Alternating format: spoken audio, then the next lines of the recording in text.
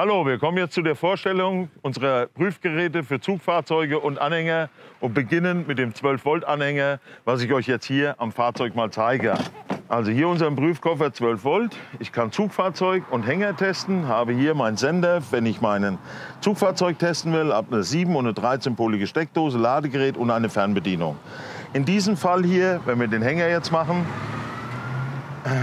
schließe ich jetzt hier die 13-polige Steckdose vom Hänger an, ja, nehme meine Fernbedienung, schalte das Gerät ein. So, Hänger ist angeschlossen. Ich habe jetzt hier meine Fernbedienung, schalte sie an. Kann dann hier noch umstellen, ob ich mein Zugfahrzeug oder meinen Hänger testen will. In diesem Fall haben wir den Hänger. Und dann kann ich hiermit alle einzelnen Funktionen durchschalten. Blinker links, dann habe ich meine Nebelschlussleuchte, Blinker rechts, meine Rückfahrlampen, meine Bremse, also alles, was ich jetzt hier sehe, funktioniert. Genauso gut kann ich natürlich mit der Fernbedienung auch mich hinter den Hänger stellen und sehe dann, dass die Lampen alle leuchten. Ich brauche keinen zweiten Mann. Der Hänger muss nicht irgendwo an ein Fahrzeug angeschlossen werden. Ich kann das auf dem freien Feld machen. Das ist eine Wahnsinnsarbeitserleichterung, wenn ich einen Hänger testen möchte. Als nächstes zeige ich euch unseren Anhängerprüfkoffer für die Beleuchtung eines Anhängers und die Prüfung des ABS. Habe eine externe Stromquelle, die ich einfach hier anschließe. Habe die Möglichkeit 15-polige Beleuchtung oder die 2x7. Und hier drüben habe ich nochmal meinen ABS, EBS. Hier stecke ich jetzt meinen ABS rein. Und auf der anderen Seite oben, weil ich hier eine 15-polige Version habe, stecke ich meinen 15-poligen Hänger rein.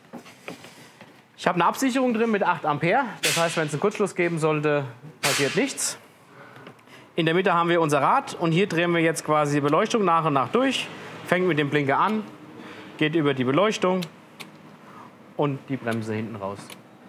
Somit habe ich ganz schnell geprüft, ob meine Beleuchtung am Anhänger funktioniert. Heute wollte ich unseren ABS-EBS Schnelltester vorstellen, unser Anhängerprüfgerät. Hier wollen wir einmal zeigen, dass wir die ABS-Leitung vom Zugfahrzeug zum Anhänger prüfen können. Es gibt mehrere Möglichkeiten insgesamt drei Stück. Ich zeige es einmal. Wir haben hier die Möglichkeit, einmal Stecker ab. Hiermit überprüfen wir die Steckdose selber. Die Zündung ist natürlich aus.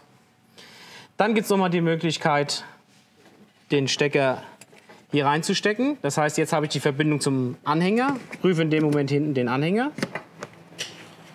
Komplett durch. Und als dritte Möglichkeit da stecken wir dann wieder den, das Kabel hier rein ins Zugfahrzeug. Machen jetzt am Anhänger den Stecker ab. Und stecken jetzt hier am Ende unser Prüfgerät rein.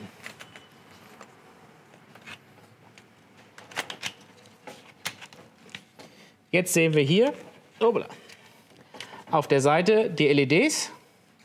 Das heißt, wir haben auch ein paar rote dabei. Zwei ist zum Beispiel die Zündung. Jetzt gehen wir her, machen die Zündung an.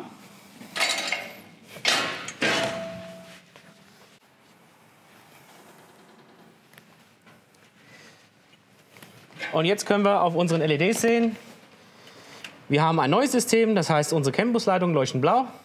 Die 5 steht fürs alte ABS, die ist aus und alles andere ist in Ordnung. Das heißt, wir müssen den Fehler woanders suchen.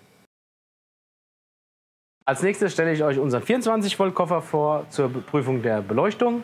Wir haben einen Akkubetrieb, das heißt, wir sind autark, wir brauchen keine externe Stromquelle. Wir haben hier eine 8 Ampere Sicherungsautomaten, wo wir quasi, wenn wir einen Fehler hinten haben, uns nicht gleich der ganze Koffer, äh, dass der ganze Koffer defekt ist. Hier haben wir dann eine Fernbedienung, wo wir dann einfach die Beleuchtung, indem wir hinter dem Fahrzeug stehen, prüfen können. Jetzt prüfen wir das Zugfahrzeug. Das heißt, wir stecken unseren Adapter 15-polig oder die Möglichkeit mit den 7-poligen Steckern quasi in das Zugfahrzeug.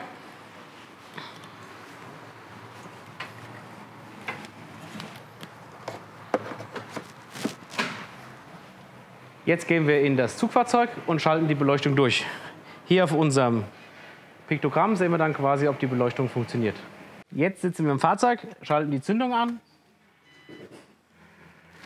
und schalten quasi einmal alles durch, betätigen die Blinker und beobachten jedes Mal unten auf unserem Koffer, ob alles funktioniert. Und somit haben wir die Beleuchtung unseres Zugfahrzeugs komplett überprüft.